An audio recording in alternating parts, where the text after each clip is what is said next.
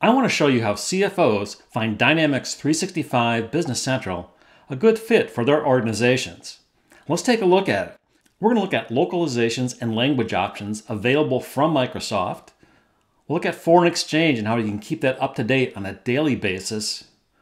We'll look at a common deployment method, hub and spoke. We'll take a quick look at consolidations and also financial reports.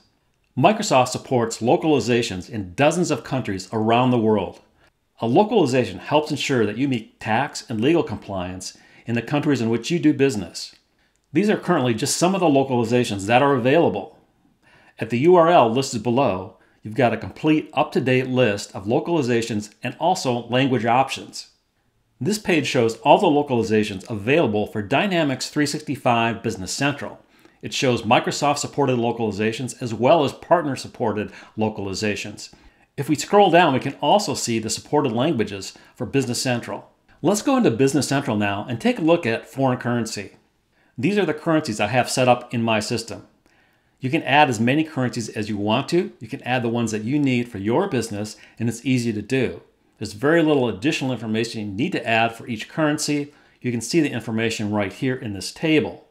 Let's take a look at the exchange rates. So for the Canadian dollar, I'll go to the exchange rates, and I can see a complete history of the exchange rates in my system. And in my system, I have these exchange rates automatically updated on a daily basis with a free exchange feed. Let's take a look at that. I can go to exchange rate service to see the simple setup that is all I need to set up the exchange rate feed in Business Central. And this is a free rate service from floatrates.com. You can use this one or any one of your choosing. It's easy to set up and it can be updated as often as you want. This helps ensure that current foreign exchange rates are used in all the transactions that are processed in your system. And this is a simple report that comes with Business Central. It shows your current foreign exchange exposure. It's easy to see it's updated on a regular basis, and you can see right now where you are with foreign exchange. You can see any gains and losses that are recorded in the system. Next, let's take a look at a common deployment method for ERP systems in large organizations. This is called a hub and spoke. And this is used by larger organizations that may have an enterprise ERP system for their main business, but they may have a number of subsidiary organizations that each have their own ERP system. And I see this commonly with Business Central. A lot of subsidiaries are smaller, mid sized companies. They're using Business Central. Hub and spoke system allows a main ERP system to draw information from subsidiary companies and their ERP systems. So this is a common deployment we see Business Central in the smaller to mid-sized companies. All that information is coming to the ERP system. The main ERP system is at enterprise level. It might be Dynamics 365 Finance and Supply Chain Management, or it could be SAP or Oracle. But this works well, and it works well with Business Central because it allows the individual subsidiaries to use their own systems for the industries in which they do business.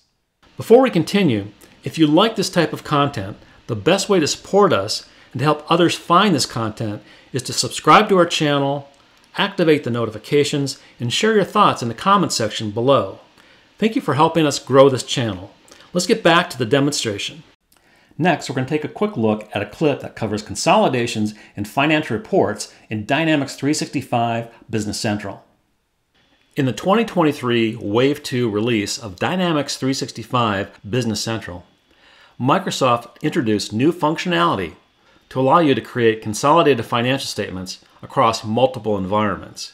Now, you may want to use this if you have other companies in your organization that are out of the country or just happen to be in different environments. This can happen when you acquire a company and they're already using Business Central, but in a different environment. This functionality allows you to create consolidated financial statements in different environments and in different Azure regions. So let's take a look at it. We're going to look at business units, the chart of accounts that I'm using, the consolidation process, and then some simple reporting. This is the organizational structure I'm using in my demo today. I've got a consolidating company, and I'm consolidating three subsidiary organizations up to the consolidating company. Those organizations are in two separate environments. We'll be taking a look at Cronus and also AM distribution in one environment, and we'll look at Cronus Unlimited in a second. This is my company in the second environment. If we look at the chart of accounts, I have accounts that are different than my original environment. This particular company has more of a European chart of accounts, but it's easy to accommodate. All I need to do is look at this particular account. I'll open that up. You can see at the bottom here in this fast tab for consolidation, I'm specifying the account number in the consolidation company that this information goes to for this particular account. Once I have everything set up, all I need to do is run the consolidation routine. So let's run that. And you can see a couple steps that I take in the consolidation process. And I'm done. I've run the consolidation that I want.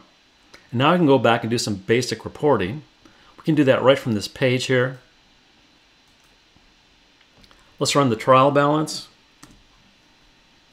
Here's the trial balance report. It shows information from three different companies that I have in my organization. These first two are in one environment. The third one is in a second environment. This is a standard report with Business Central. It's easy to run. It gives you a worksheet to analyze and plan your consolidated financial statements. Let's look at the financial reports. I've got one here where I consolidate information from these three different entities. You can see the results here. This allows me to drill down and see the account information for these three different organizations. This one's in a different environment. If I click on that, I can see the consolidation entries that were recorded for this entity. This is the column definition I'm using for this report. You can see the business units right here. Now let's go run the report. And here's the report here. I've got my three different organizations. I've got a total. Off to the right, I've got year-to-date totals as well. So today we looked at why CFOs might want to use Dynamics 365 Business Central in their organizations.